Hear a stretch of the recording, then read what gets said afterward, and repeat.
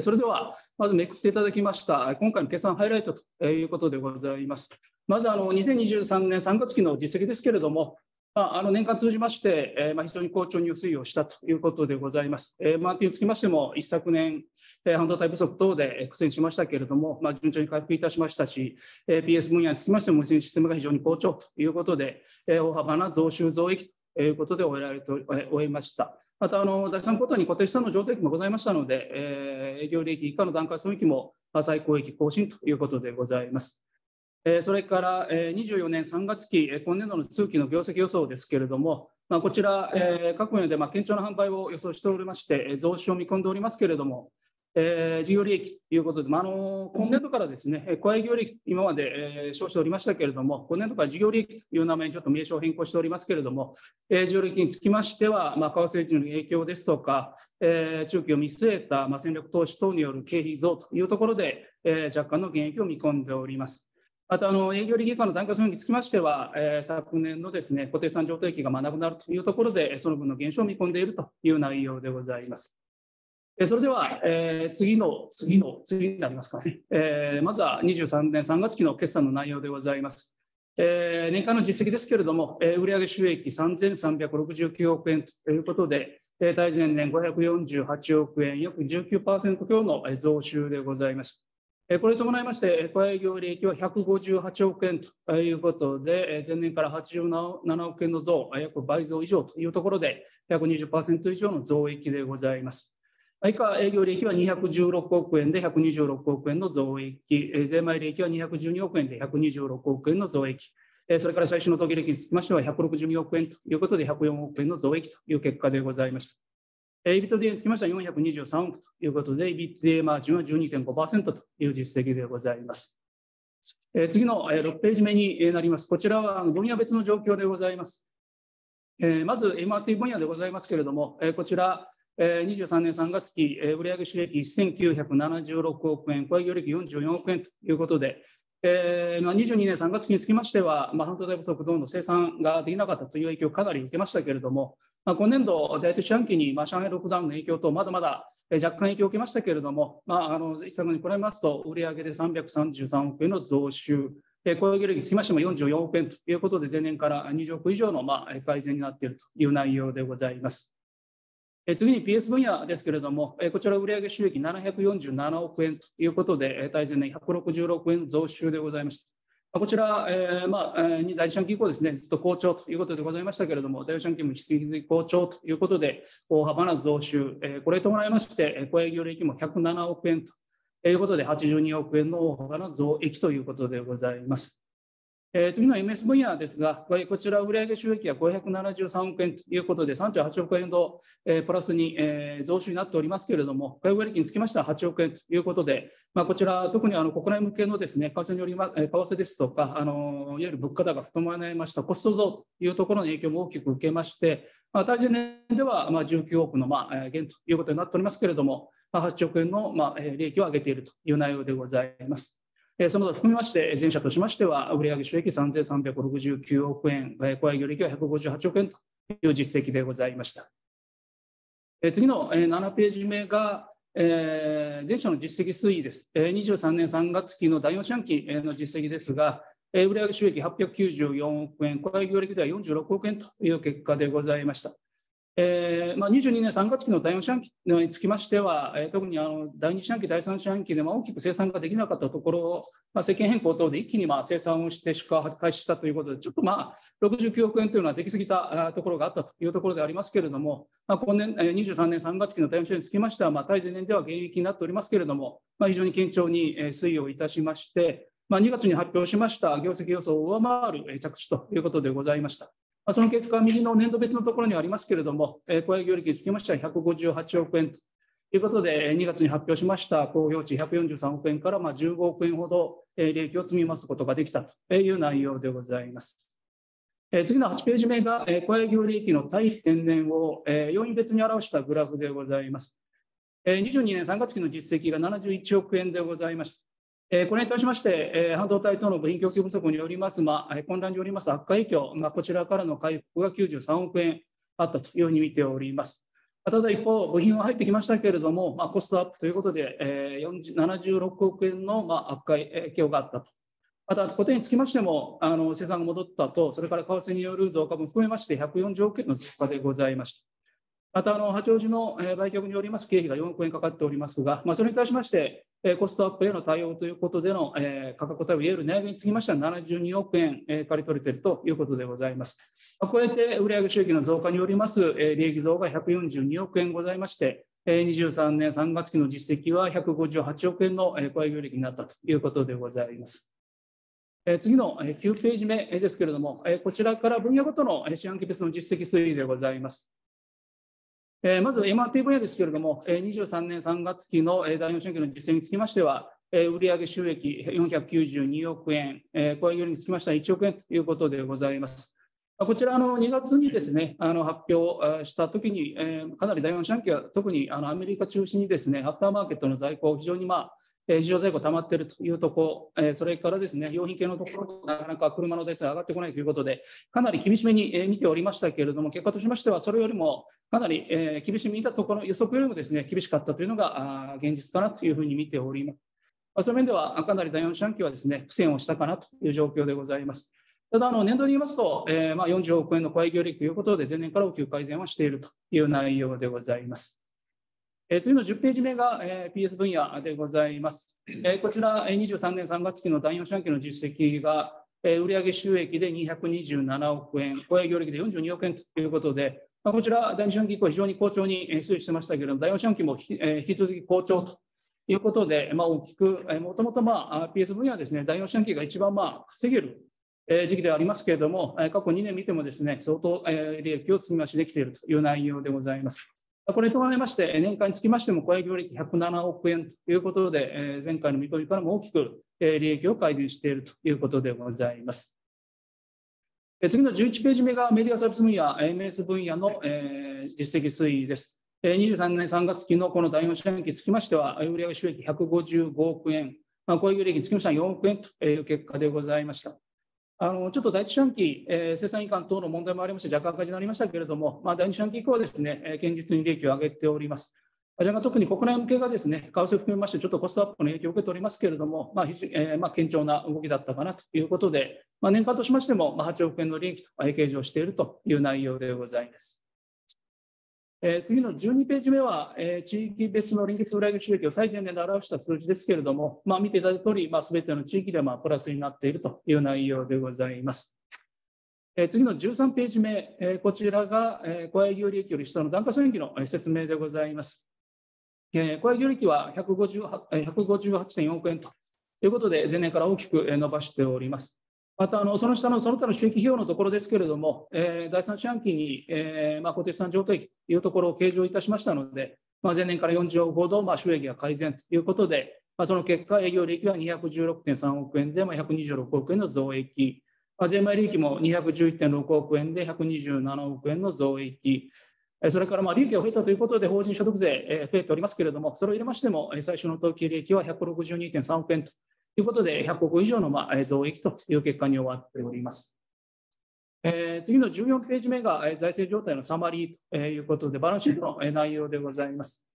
下の表の下から2段目にあります、親会社の所有者に帰属する持ち分、いわゆる自己資本ですけれども、こちら988億円ということで、22年3月期末から193億円という大きく増やしております。これ、主に利益の計上によります増というところでございます。その結果、一番下にありますけれども、えー、いわゆる自己資本比率につきましては33%ということで、えー、22年3期末から4.7%ポイント増ということで、まあ、こちらも、えー、2023年ビジョンですね、こちらの最終年度の、まあ、目標30%以上という自己資本比率については、1年前倒しで達成ということでございます。それから真ん中ぐらいにありますけれども、より支負債につきましても625億ということで、え前年末からですね、70億ほど減らしておりまして、またネットデッドも63億円ということで、前年から大きくまあ減らしているという内容でございます。次の15ページ目がキャッシュフローのサマリーです。営業活動によるキャッシュフローにつきましては、266億円のプラスという実績でございました。こちらは、まあ、利益が改善になったというところと、それから、まあ、22年3月につきましては、まあ、半導体の不足ということで、生産がだいぶ混乱いたしまして、えー、仕掛かり原材料を含めまして大きくまあ膨れ上がったというところからは、まあ、まだまだ水準的には高い水準ですけれども、まあ、その一昨年からは大きくまあ改善になったということでの営業、運転資金の改善ですね、こちらもありまして、営業活動のキャッシュフロー266億円、前年からまあ195億円の改善ということでございます。えー、投資活動のキャッシュフローにつきましては73億円の支出ということで、まあ、前年から25億円とまあ減ったように見えますけれども、まあ、こちら、のこの中に、えー、八王子の土地の売却によります収入とキャッシュインもございまして、まあ、そういった特徴を除きますと、ほぼ、えー、22年3月期とほぼ同等の、まあ、設備投資とは行っているということでございます。また、あのフリーキャッシュにつきましては、この結果193億円ということで、まあ、前年は若干30億ほどのまあマイナスでしたけれども、プラスにの約200億弱のプラスというところでございました。財務活動にキャッシュにつきましては、140億円の、まあえーまあ、支出ということで、まあ、あの借入金の返済等を進めたという結果でございます。以上がこの2023年3月期の決算の内容でございます。引き続きまして、24年3月期の業績予想の話をさせていただきます。17ページになりますけれども、24年3月期の通期の業績予想でございます。裏返し収益につきましては3500億ということで、対前年131億円の増収を見込んでおります。まあ、こちら各分野で堅調な売上を予想しております。まあ、一方、えー、事業利益、えー、今まで雇用利益と称しておりましたけれども、えー、事業利益につきましては148億円ということで、10億ほどの、まあえー、減益を見込んでおります。えー、この要素はですね、あの我々、えー、1年先を見据えた、まあ、為替ヘッジ、為替予約をやっておりますけれども、えー、20年23年3月期はあの非常に大きく円安が進んだということで、まあ、当社の場合は、えー、ドルの輸入の方がまあ輸出量多いということで、円安になるとかなり損益に影響が出るということでございますが、えー、23年3月期、えー、前期につきましては予約を取ってたということで、円安によります悪化影響、まあ、ほとんど受けなかったということでございました。ただ、あの24年3月期につきましては、為替よく進めて、まあ、ほぼ取っておりますけれども、まあ、円安の中で予約を進めたということもございまして、え予約のレートで言いますと、23年3月期よりは円安のまあ予約の取れてる、まあ、取っているということで、ま、それによりますと影響が全社で34億円ほどあるということでございます。えー、またですね、えー、それに加えまして、まあ、中期ビジョン、後で、えー、説明がありますけれども、えー、中期の経営計画を見据えた、まあ、戦略投資経費等もまあ入れていくということで、経費増も入れておりまして、まあ、売上、えー、収益によります改善ございますが、まあ、そういった大きな影響がありまして、10億ほどまあ減益を見込んでいるという内容でございます。またあの営業利益以下の段階損益ですが、営業利益は134億円で82億円の対前年減益、税前利益は124億円で88億円の減益、えー、最初の統計が80億円ということで、82億円のまあ減益になっておりますけれども、まあ、こちらは、昨年度、えー、計上しました、えー、土地の譲渡益がなくなったという影響が主ということでございます。えー、期末 ROE は今8.0%見込んでいるということでございます。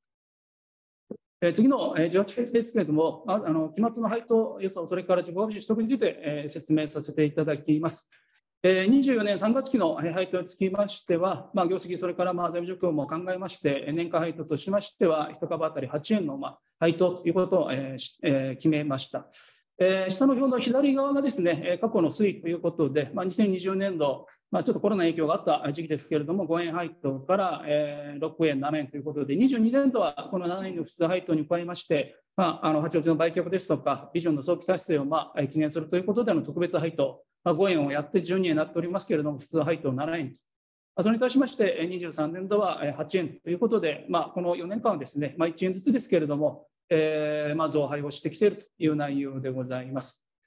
またあの昨日、えーまあ、自己株式の取得の発表させていただきましたけれども、我々あの2月の、まあ、決算発表の時に、えーまあ、配当の考え方ということで、え、今までまあ配当成功30%以上ということを言っておりましたけれども、これからはですね、自社株買いも含めたま機動的な運営ということで、ま、総還元成功を目安、え、も基準としようということで、ま、今回の、中期改革の中で、総還元成功の目安につきましては30%から40%ということをま発表させていただいております。今回、上限40億ということでの順番株式取得をま決定いたしましたので、まあ、先ほど言いました、特別配含めた12円の配当と、今回の40億を、足し込みますと、えー、23年3月期の最終の当期利益に対します総還元成功につきましては、まあ、約37%という結果になるだろうというふうに見込んでおります。まあ、今後につきましても、えー、大体まあ総還元成功30%に、えー、今回発表しました目安に基づいて、配当、それから、え自己会社の取得をまあ引き続きやっていくという内容でございます。次の19ページ目は、今回発表させていただきました、営業利益のえ業績予想ですね。こちらの対前年の4別のグラフでございます。23年3月期の営業利益の実績が216億円ということでございました。これに対しまして、先ほど説明いたしました為替によりますマイナス影響が34億円あるというふうに見込んでおります。それに対しまして、えーまあ、半導体の部品不足、まあ、昨年はまあかなり少なくなりましたけども、若干まああったというところが、えーまあ、戻ってくるというところが12億円。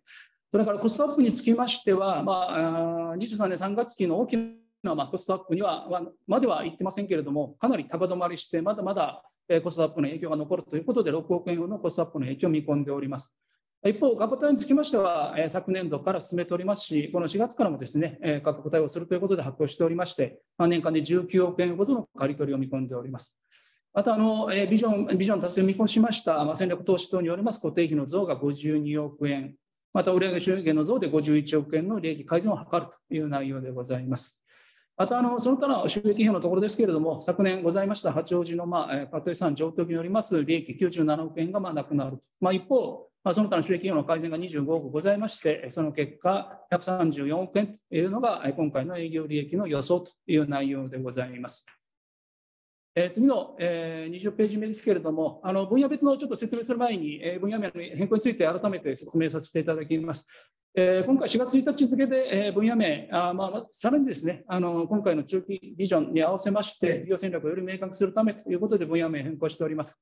えー、まあ、といえば、モビリティ＆テレマティクスサービス分野については変更ございませんが、えー、今まで PS 分野、パブリックサービス分野につきましては、えー、セーフティーセキュリティ分野、S&S 分野ということに名前を、えー、変えております。また、メディアサービス分野につきましては、エンターテインメントソリューションズ分野ということで、ES 分野ということで名前を変えておりますので、えー、今回はこの名前で、えー、ちょっと、えー、分野ごとの説明をさせていただきます。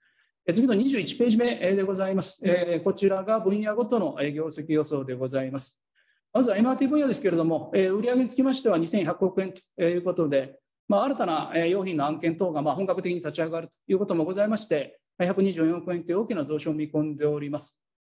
まあ、一方、まあ、先ほどあの前者の業績のところ、業績予想でも説明いたしましたが、為替値の枚数影響、まあ、前者で34億ほどありますけれども、そのほとんどといいますか、そのうちの33億円強がですね、M&T 分野で発生するということがございまして、まあ、ここは大きく影響を受けておりますけれども、まあ、売上収益のまあ増加とよります利益改善をやりましてですね、まあ、なんとか6億ほどの減益でとどめようというのが今の、えー、業績予想、事業利益つきましては38億円の業績予想を出しております。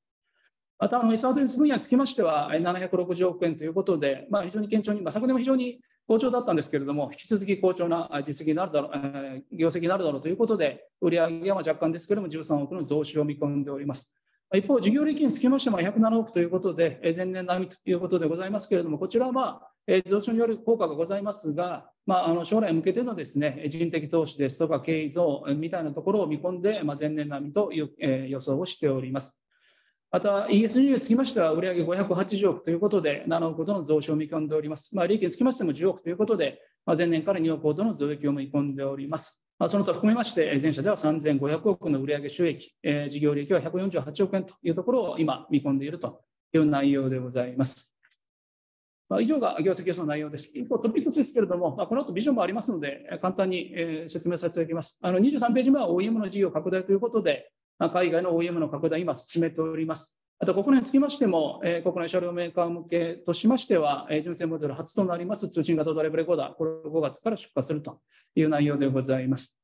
次の24ページ目は無線システムということで、こちらも非常に昨年、えーまあ、好調ということでございましたけれども、あの受注剤につきましても、12月末で若干、あのちょっとグラフが下がったということで、まあ、いろいろご質問を受けましたけれども、まあ、3月でまた非常にまたこの第4社期もですね、えー、生産増強もしまして、かなり出荷もしてるんですけれども、それでも3月はまた12月よりも増えているということですので、非常に順調に、えーまあ、推移しているということでございます。また、あの右の下にありますけれども、将来向けた人増強についても積極的にやっていこうということで、今見込んでおります。それから、えー、最後ですね、25ページ目、ものづくり改革ということで、えー、進めてまいりま、この1年進めてまいりました。あの2022年2月の、まあ国内向けの市販用のカーナビ、こちらをインドネシアから長野への生産移管をスタートしまして、いくつか、えーまあ、改革をやっておりまして、まあ、昨日発表いたしましたけれども、えー、中国、上海にあります、えー、生産拠点、いわゆるあの輸出用の生産拠点になりますけれども、まあ、こちらにつきましては9月末での事業終了予定ということになってまして、まあ、こちらの改革もですね、えーえーまあ、着実に進めているという内容でございます。私からの質問は以上でございます。はい、えー、では続きまして、新中期経営計画、ビジョン2025で、えー、資料をはい、えー、私の方からですね、昨日発表いたしました新中期経営計画ビジョン2025について、えー、ご説明いたします。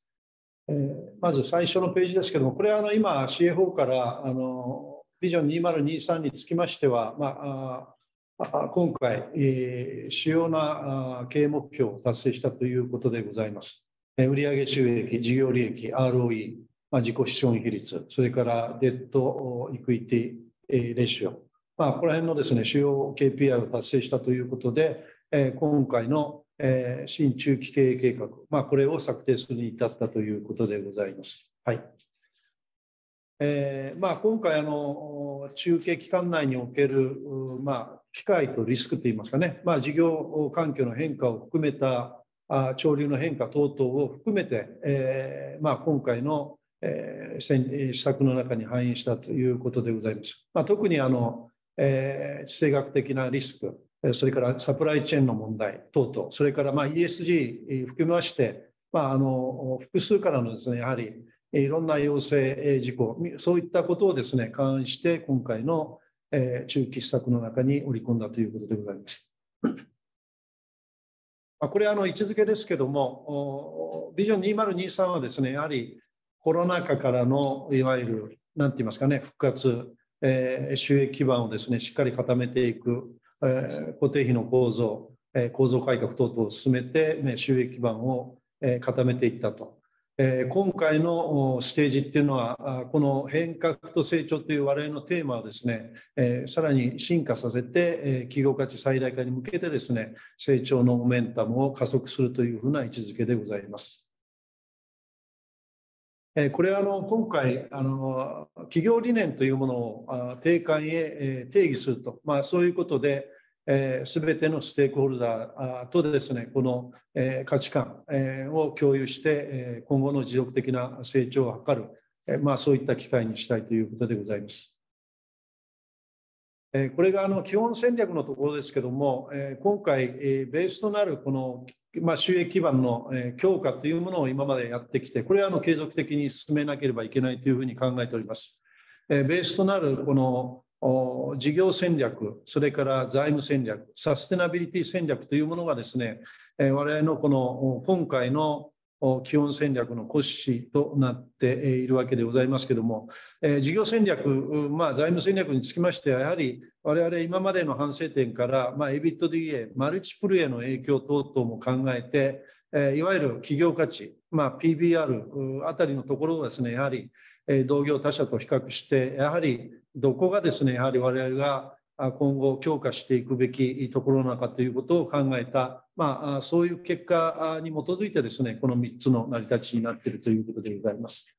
それから事業戦略につきましては、やはり資本コストを重視して、成長性とですね、資本効率性といいますかね、そういったことをですね、意識しながら、ポートフォリオの改革を進めた、進める。それから財務戦略につきましては、まあ、キャピタルアロケーションの最適化ですね、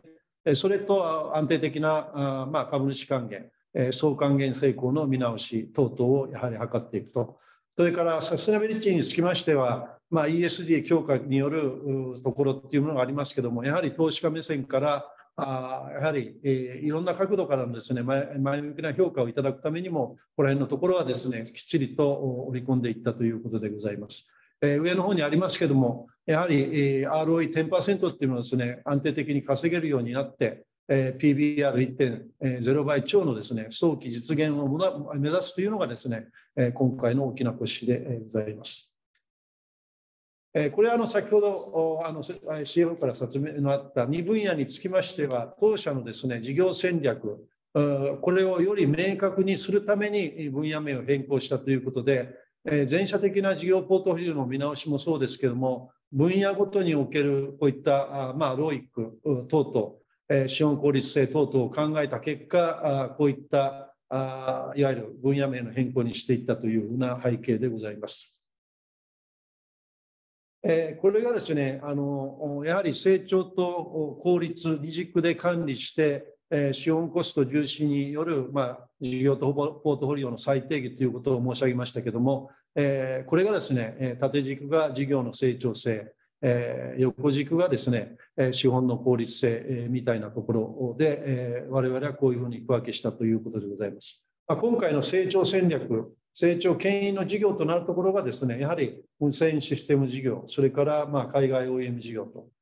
まあ、収益基盤事業につきましては、まあ、これまでと同じく、え OEM、アフター、エンタメ、えまあ、新規事業につきましては、えー、ニューエンタメですね、それからテレマティクスということを抱えて、えー、いる一方でですね、まあ再、再構築につきましては、課題事業として、業務用のカメラ、業務用システム事業、こういったものをですね、課題事業として区分けしたということでございます。これがあの3つの分野の大きな戦略の方向性でございます。まあ、M&T につきましては、やはり事業事業環境の変化、EV 化の拡大、アフターマーケット縮小、まあ、テレマティクスサービスはですね、やはり拡大傾向でございますけれども、こういった時代、時流の変化、市場のですね、変化等々に戦略の方向性をですね、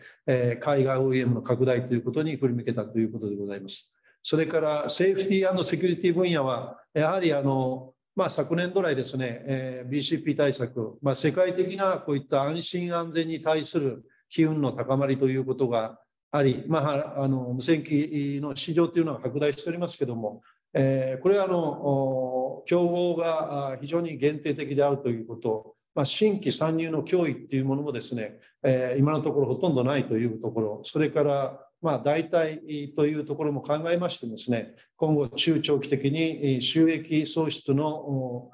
利益喪失のドライバーになりうるということで、えー、北米を中心にですね、成長牽引事業として位置づけるということでございます。それからエンターテインメントソリューションにつきましては、まあ、既存のメディア事業につきましては、やはり民生事業の厳しさっていうのは統合をいろいろとですね、あのいろんな局面ありましたけども、やはり事業の質的転換を図るということ。で、一方で、えーまあ、マーケット、市場性としては非常に見込めるゲーム、アニメ事業を強化するということでありまして、まあ、事業の質的転換を図るというのが骨子でございます。これはあの事業ポートフォリオの見直しによる事業構成費の変革、まあ変、変化ということですありますけれども、まあ、繰り返しですけれども、無線事業はまあよく言われる5スターズの中で、えー、まあこの4つぐらいは満たしているのかなと。要はプレイヤーが限定的であると。えー、競合のいわゆるプレイヤーというものが限定的であるということはありますけども、新規参入の障壁も非常に高い、それから競争優位性を継続的に確保できるということでありまして、まあ、そういった意味からすると、えー、ここにですね、やはり、えー、我々の、まあ、事業収益の牽引牽引的な役割を果たすドライバーとしてですね、まあ、中期的にも約このえー、ここに記載の通り事業利益の構成のですね65%を占めるような形になるということでございます。はい、次。でこれはあの2030年度まで見渡した我々の中長期事業の成長イメージでございます。えー、2030年度の目標数値がまあ4000億以上ということで、えー、ここに事業利益率のいわゆる目安5%から7%、ROE は安定的に10%以上、ROIC10% 以上ということで、このいわゆる、まあ、中間的といいますかね、あの今回のビジョン2025がこのステージ3700億円のところの位置づけになるということでございます。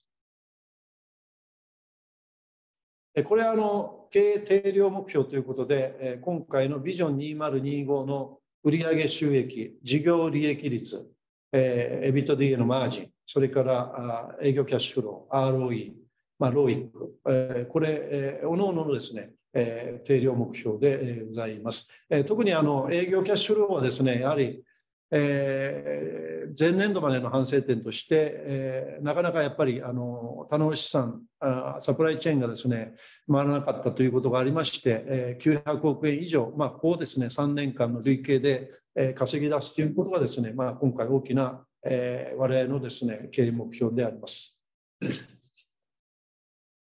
えー、ここはですねあの、えー、先ほど申し上げたところの、えー、若干違う形で、え、ありますけども企業価値最大化に向けてのいわゆる構成要素のドライバーをどういうふうに考えているかということでございまして、え、上からいきますと、まあ、利益成長、ビット DA10% 以上、まあ、この中にはですね収益性の向上それから我々が今進めています SCM の改革、まあ、工場再生、ものづくり改革、まあ、こういったところが入ってくるだろうと。それから資本効率の、え向上というところは、まあ、今回、ROIC9% 以上というところですけども、えー、まあ、繰り返しですけども、こういった ROIC を軸とした事業ポートフォリオの定義、えー、変革を図っていくということ、それからあ、まあ、利益率の非常に高い、えー、無線システム事業にですね、えー、我々の人物金を振り向けていくというふうな考えた方でございます。えー、一番下の方はやはりあの株主還元、まあ、総還元成功とデッドエクイティレシオ、これはあの、えー、先ほどの CFO からの説明の通りでございます。まあ、最適な資本構成による、まあ、ワックということもですね、えー、意識しながらあ進めていきたいというふうに考えております。次。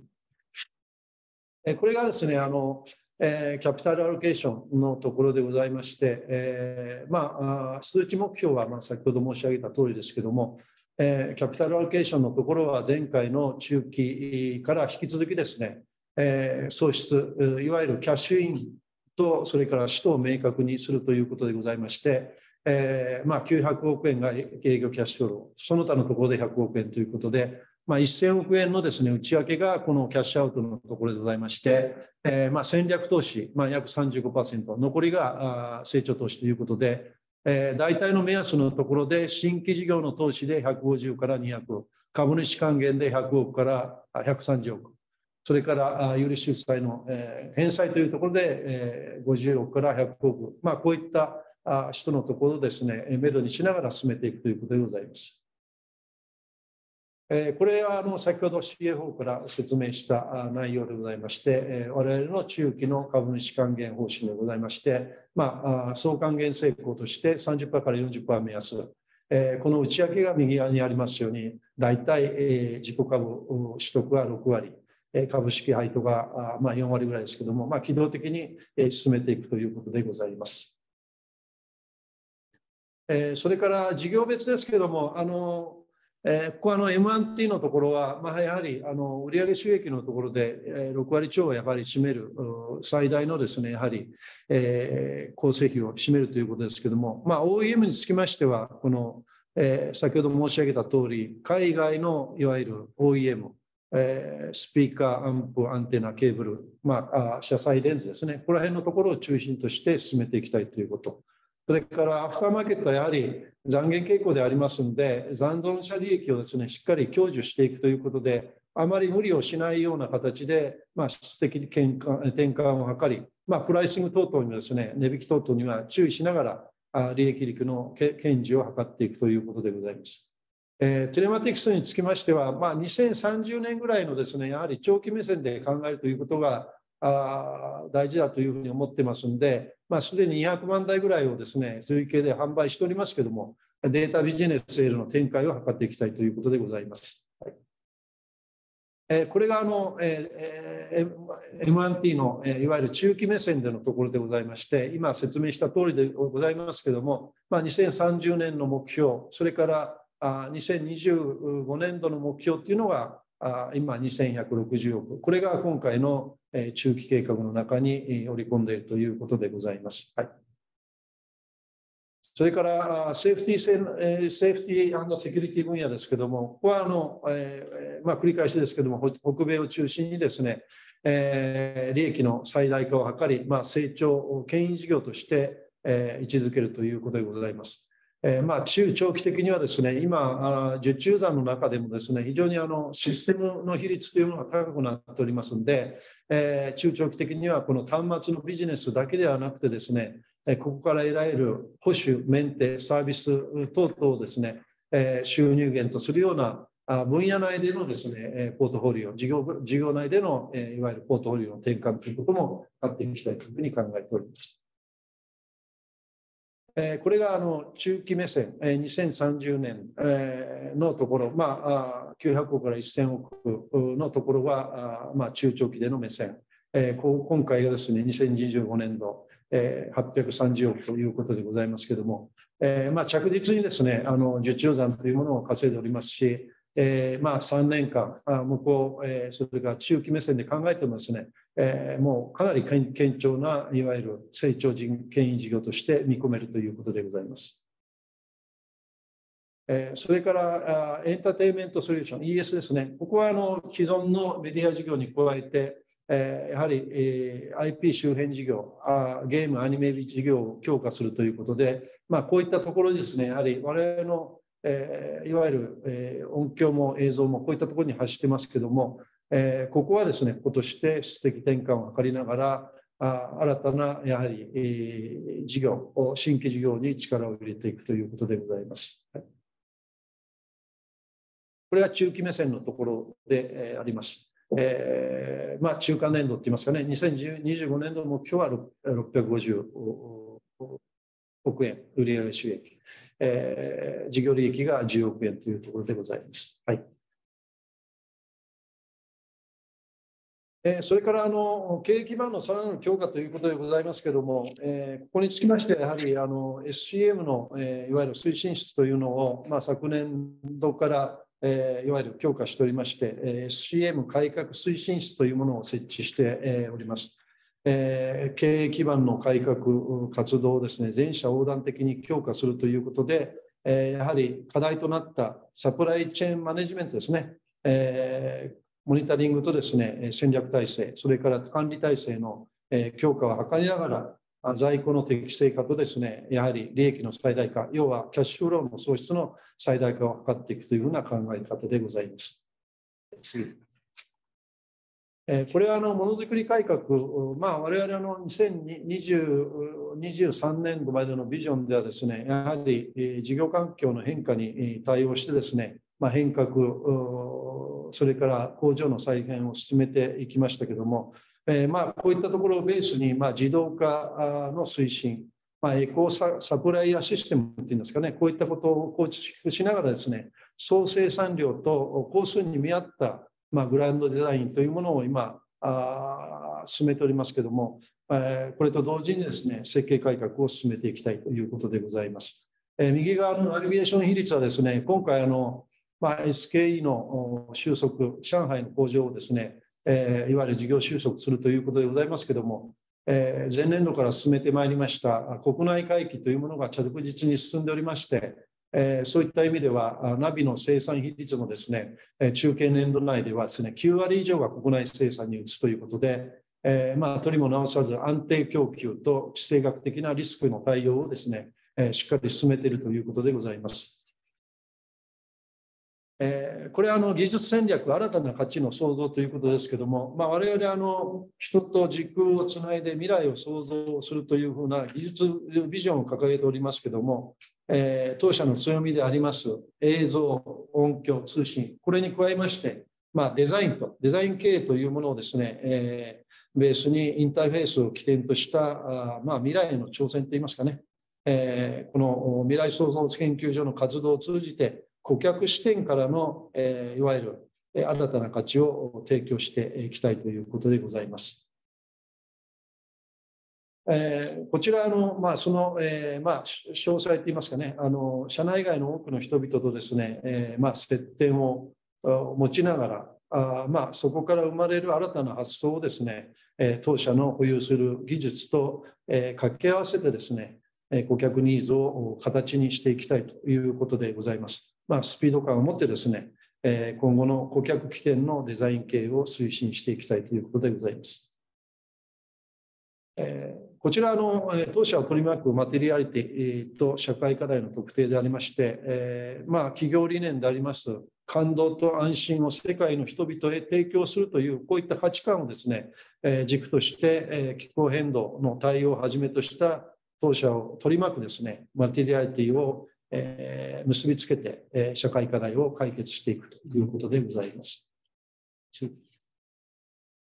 えー、サステナビリティですけども、これはあの ESG とあの3つに分けておりますけども、まあ、環境の取り組みは環境方針の実現、まあ、中期的な気候変動の対応ということで、えーまあ、2050年のカーボンニュートラルの実現に向けた活動それから社会の取り組みというところでは、イノベーションの加速と、それから経営人材、経営、まあ、人材戦略ですね、経営戦略とのいわゆるえ連動ということで、え人材育成と組織能力の継続化を進めるということでございます。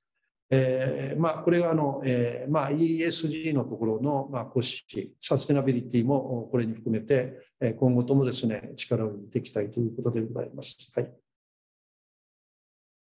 それからこれあの、えー、若干重複しますけども、環境への取り組みでありまして、えーまあ、事業活動に伴う、まあ、CO2 の排出量削減えー、目標、まあ、こういった目標というものがございますけども、えー、当初あの事業拠点のですね統合等々を進めておりますので、まあ、これに、まあ、サプライチェーンですかね、まあ、搬入だとか輸送だとか、まあ、販売に関わる排出量の算定とですね、えー、削減の取り組みを強化するということでございまして、えーまあ、下にありますのはあの TCFD えー、まあ、この提言というものを、え、賛同を表明しておりますので、まあ、今後、サステナビリティ推進活動を加速させてですね、脱炭素社会、まあ、こういった実現に向けて取り組んでいきたいというふうに考えております。これはあの人材育成のところですね、イノベーションを実現する人材育成と組織能力の強化、それから、まあ、繰り返しですけども、経営戦略と人材戦略の連動ということをに重きを置いていきたいと思います。働きがいのある職場、柔軟な働き方、まあ、こういったこともですね、推進して、進めていきたいというふうに考えております。これがその、いわゆる例でありますけれども、バリュースクエバリュークリエーションスクエアというものが来年の夏に完成しますけれども、まあ、在宅勤務、サテライトオフィス、え事業拠点等々いや夜、働く場所を選ばないハイブリッドワークワークの実現をするということで、まあ、多様で柔軟性の、え、いわゆるある環境を整備していきたいというふうに考えております。これはあの最後になりますけれども、あの2023年度よりサステナビリティ、まあ、全般についてこの推進組織といいますかね、こういったことを全社的、またあの事業横断的な位置づけで、え推進するために CEO の直轄組織としてサステナビリティ委員会というものを設置いたしました。えー、まあ、あの中期計画の中でもですね、え、当社の強みを発揮できる幅広い領域でですね、え、いわゆる地球環境、持続的発展と当社のいわゆる成長をこれを両立させるような形でサステナビリティ経営を推進していきたいというふうに思います。この外部評価につきましては、いろいろな外部評価、外の評価を取り入れながら、今後の改善に図っていきたいというふうなことでございます。私の方から以上でございます。ありがとうございます。